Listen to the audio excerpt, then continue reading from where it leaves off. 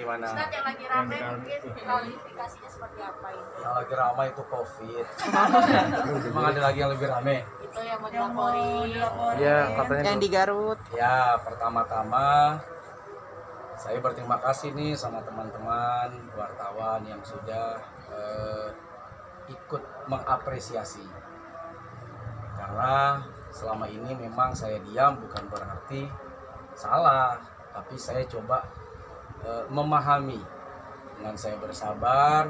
Toh itu saudara saya juga, toh mereka juga eh, bukan orang lain lah boleh dibilang. Tapi kok sehari dua hari tiga hari makin ke sini kok kayak keranjingan gitu ya. Keranjingan tuh apa ya? Makin jadi. Makin jadi makin jadi pernyataannya makin jadi fitnahnya makin jadi sampai-sampai keluar kalimat saya akan laporkan eh, soulmate supaya soulmate kapok. Nah kalimat itu seolah-olah menunjukkan bahwa eh, dia benar saya salah.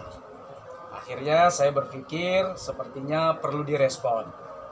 Nah yang pertama saya ingin mengklarifikasi dulu nih sebelum masuk ke respon saya. Iya.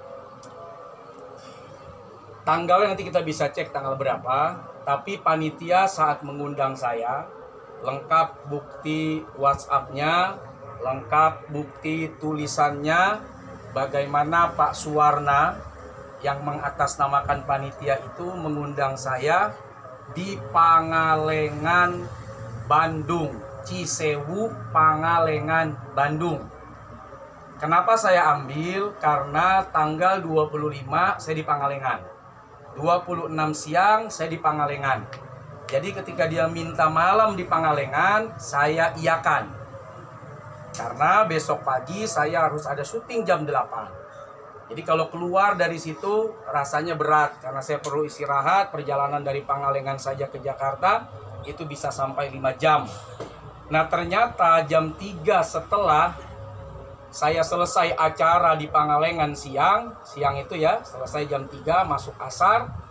Nah, saat ngobrol dengan panitia di Pangalengan, datanglah panitia Cisewu bersama Ustadz Suwarna. Ya, bersama Pak Suwarna datang. Pak Kiai, kita berangkat sekarang. Hah?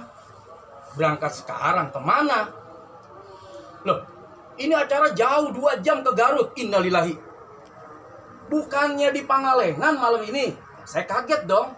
Loh, bukan. Ini di Garut. Jadi Cisewu itu bukan Pangalengan, bukan Garut. Lah ini undangannya lah nggak tahu. Ah, saling menyalahkan. Akhirnya saya sampaikan kepada panitia, berangkatlah kalian dulu. Kasih saya berpikir. Insya Allah Ba'da Maghrib akan ada keputusan. Akhirnya mereka berangkat, kurang lebih asar itu, duluan. Nah, saya di satu tempat gitu ya, ya di losmen lah boleh dibilang. Saya eh, tempat istirahat itu malam, saya ngobrol diskusi sama teman-teman. Gimana ini? Nah, tapi jawaban Ustadz Hasan saat itu, pulang aja Kiai. Karena sudah eh, di luar konteks perjanjian. Bukan Pangalengan, tapi Garut, Cisewu, dua jam kurang lebih dari Pangalengan. Nah, saya berpikir merenung lagi, tapi kasihan saat ini jamaah mungkin sudah kumpul, sudah ramai. Sudahlah kita berangkat. Walaupun saya harus berhitung besok sampai Jakarta itu jam berapa. Qadarullah. Ini takdirnya Allah ini. Tiba-tiba begitu saya sampai di Talango atau apa gitu namanya ya. Saya coba cek ya. Eh Ya, lengkap itu. Saya itu ada jalan putus. Entah longsor, entah jembatan putus, entah apa saya nggak tahu. Petugas minta kita untuk balik karena tidak bisa lewat. Itu sekitar jam berapa Pak Ustadz? Kurang lebih jam 8. Jam 8 setengah 8. Karena Ba'da maghrib saya udah ambil keputusan, kita berangkat. Nah, saya tanya sama petugas, ada jalan alternatif nggak? Ada Pak Ustadz, tuh lewat situ. Allah karim, jalannya asyik. Satu jalur. Mobil saya gede. Udah kita masukin. Sampai di tengah-tengah, arus dari bawah. Ini kan mereka kan yang sebelah sana kan juga nggak bisa lewat nih. Lewatnya dari situ juga. Itu sudah terlalu padat. Sampai-sampai kita tuh ngejepit aja udah, ngejepit aja setengah jam nggak bisa ke mana-mana sampai akhirnya datanglah petugas yang mengatur udah pulang aja pak ustadz susah lewat kenapa karena panjang betul di bawah pertanyaannya mau ditabrakin tuh mobil di depan kita? Kan nggak mungkin. Di depan longsor cari alternatif udah nggak bisa lewat. Petugas yang suruh balik. Kita puter akhirnya. Dan itu ada videonya saya videokan. Dan itu sudah saya kirim ke Pak Tisna ya. Lurah ngakunya. Nah, ke Pak Suwarna. Udah saya kirim ini keadaan begini ibarat orang nih force major di depan ada bencana sudah mencoba tetap tidak bisa dilewati. Mau bagaimana? Saya udah setengah jam lebih di sini. Tunggu tunggu tunggu. Nunggunya aja bisa hampir satu setengah jam. Itu kalau lancar.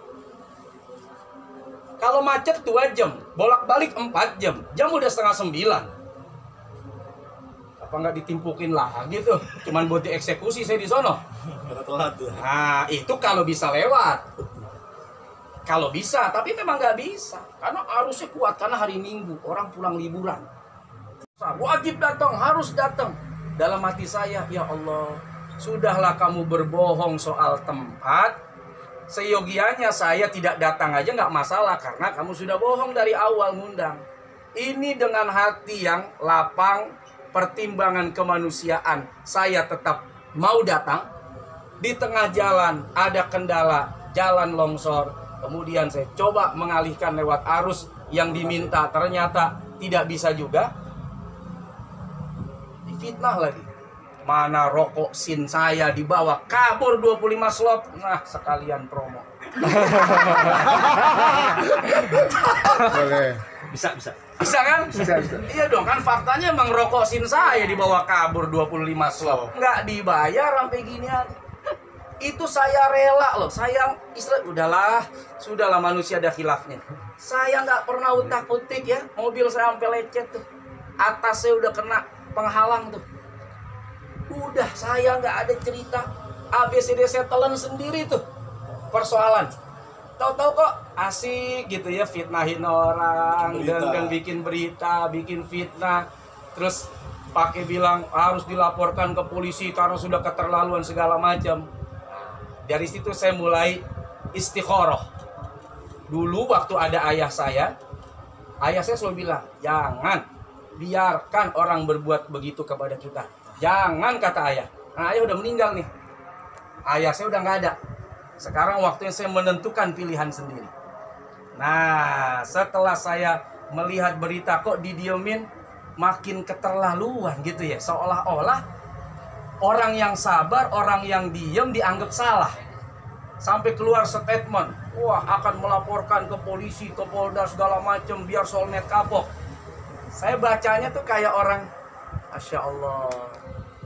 Dia nggak sadar apa ya, kalau dia ngundangnya ke Pangalengan, Bandung, tapi dia larikan saya ke Garut. Maka inilah pernyataan saya sekarang.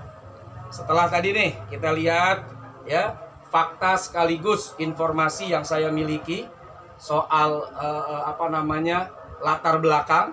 Kemudian saya sudah sampaikan soal eh, kenapa tidak eh, tidak sampai ke lokasi karena ada bencana, ada musibah. Nah, kemudian kenapa saya harus ambil sikap hari ini? Saya hanya ingin menyampaikan kepada Pak Suwarna dan Pak Tisna. Berhari-hari saya, saya perhatikan berita Anda ingin melaporkan saya ke polisi maka dalam waktu 2 kali 24 jam kalau Anda tidak laporkan saya ke polisi, Anda yang saya laporkan. Statement unik ini. Iya, Motion lebih unik. rokok sin. Emang kalau ngerokok sin rada unik. Rada unik gitu. Jadi sekali lagi saya ingin sampaikan kepada Pak Suwarna dan Pak Tisna yang sudah melontarkan fitnah bahkan mengancam untuk melaporkan saya ke polisi dengan membuat opini-opini di media. Saat ini saya sampaikan kepada saudara eh, Suwarna dan saudara Tisna dua kali 24 jam kalau saudara tidak melaporkan saya ke polisi, maka saudara berdua yang akan saya laporkan. Kang, Dan kalau saudara melaporkan saya, tetap saya laporkan balik.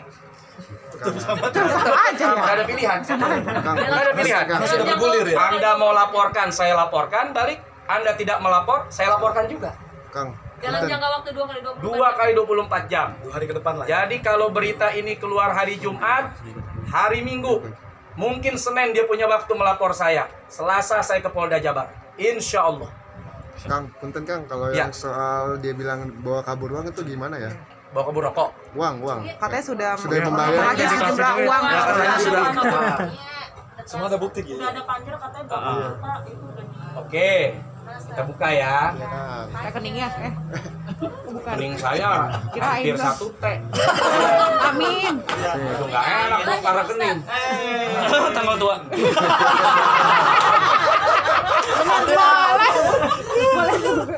Apa ini? Tanggal tua. Gua ngomong ya. Ipan. Ipan ya. Ayo, oke Stan. Tapi ini ada nama saya dan nomor saya nih gimana nih nomor rekening saya. Gimana aja ya? Sebutin aja. Sebut aja. Mana caranya? Di ditarik. Ditarik. Ditarik. Begini. Ah, Nah. Nah. Lagi lagi. Nah. Lagi lagi lagi dong. Nah. Ya udah, segitu aja. Udah. Udah udah udah pas itu. Nah. Di sini tertulis masih Bandung. Bandung. Bandung BNDG. 26 September Ya. malam Bandung. BNDG. Bandung. Mulai ke kiri. Kiri berapa ini? 2 miliar apa? Oh, 2 juta. Dua oh, sekarang.